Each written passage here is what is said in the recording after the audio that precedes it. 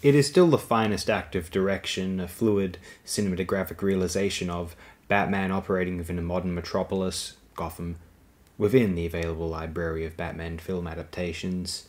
The performances were far better, far more believable than one would assume a Batman film adaptation deserved. Heath Ledger as the Joker is pretty obvious, but also the strengths of Gary Oldman, Aaron Eckhart, Christian Bale, Michael Caine, Cillian Murphy, briefly, and Morgan Freeman. And while it might not be as smart as its most ardent fans insist, it is a lot more intelligent than its detractors assume it is.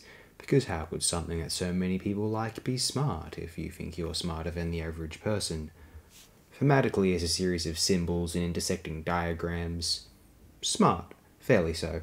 As a very tight, no plot holes screenplay, yeah, it makes an effort.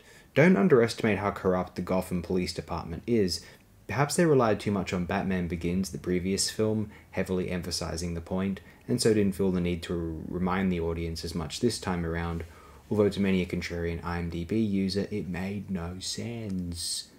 It does, and where it doesn't quite hold your hand, you can fill in the gaps and ask yourself whether you would have preferred a scene with the Joker leaving the Wayne building after throwing Rachel off of it, a scene where it spoils who Gordon's shady double crossing cops were, so that it explains how Harvey and Rachel were taken from the previous scenes they were featured in, or that displays Harvey Dent moving from place to place toward the end there, how Joker rigged those two ships with the civilians and the prisoners on them, you know, and before that reveal occurs at that.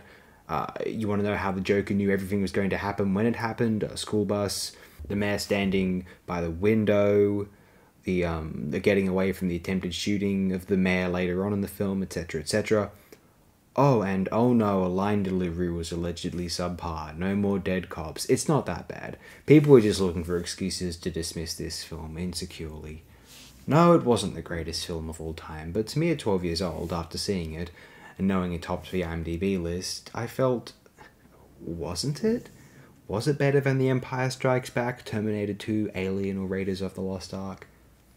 I don't know if I feel that way now, even, funnily enough. Those are some quality films, especially Alien for certain. Although the seriousness, ambition, and adulty nature of The Dark Knight was so alluring and cool to me at that age when I saw it on day one of the theatrical release, I still consider it a stellar film, not perfect, although far better than it may have had any usual right to be as a Batman film, and though certain comics featuring Batman had achieved the status of great literary acclaim, Year One, Dark Knight Returns, Killing Joke, or Long Halloween, but one of the film adaptations? Batman 89 was liked at the time, for those who acclaimed it subsequently usually did so in a pop art sort of manner, myself included to some degree actually. Batman Begins was good, many claimed that was prospectively the best superhero film made yet, although The Dark Knight did not only top everyone's new list of best superhero film ever, it topped lists, or was close to the top of, best films of the 2000s in general, and if any film has occupied the status of modern, recognized, iconic, well seen, highly influential, and popular culture classic, this one, for sure. I will always be a fan of this film, whilst I'd avoid placing it on the short lists of very best films ever made. The audacity and energy of the screenplay, cinematography, and overall production is some of the most exciting on record. Everyone on set wanted to rock the world, and they did permanently. An actor who drove themselves to a psychological abyss and some say to their death before the age of 30, a film director who became one of the most beloved in the English speaking language overnight and funded some of the few non existing, uh, pre existing IP Hollywood blockbusters that still remain, in fairness to him. The quality of those films might vary for some of you, I don't know.